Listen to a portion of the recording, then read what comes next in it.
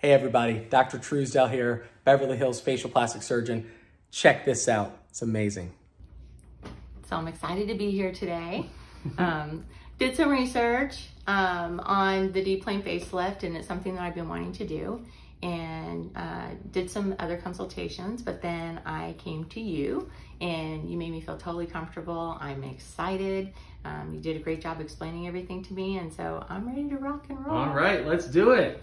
It's gonna be fun, guys. So then one week later, One week.